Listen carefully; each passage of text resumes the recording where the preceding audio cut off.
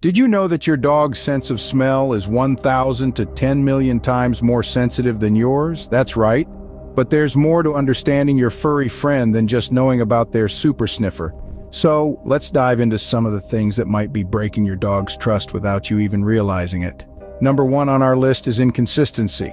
Dogs like us thrive on routine and consistency. Changing the rules and expectations can confuse them and damage their trust in you. Think about it.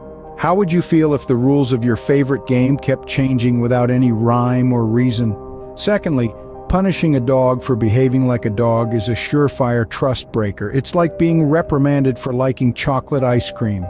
Dogs will be dogs, and it's essential to understand and respect their instinctual behaviors. Now imagine being forced to hang out with someone you're scared of. Not pleasant, right? The same goes for your furry friend. Forcing your dog to interact with people or other dogs they're afraid of can be a traumatic experience. Fourthly, not respecting their space.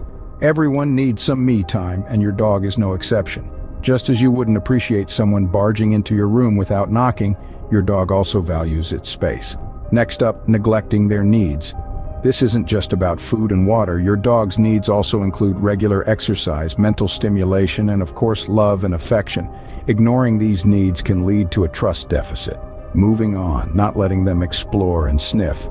For dogs, sniffing is more than just a hobby. It's their way of understanding the world. So when you pull them away mid-sniff, you're essentially pulling the plug on their exploration, finally breaking promises. And no, we're not talking about the we'll go to the park tomorrow kind. A common example is pretending to throw a ball but not actually throwing it.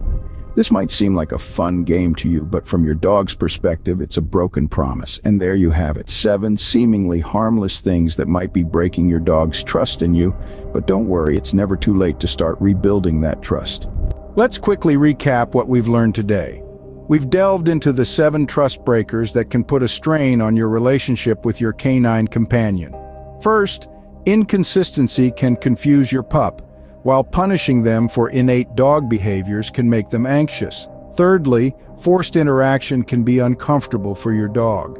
Fourth, disrespecting their space can make them feel insecure. The fifth trust breaker is neglect which can lead to behavioral issues. Sixth, not allowing exploration can stifle their curiosity. And finally, breaking promises can make your pooch lose faith in you.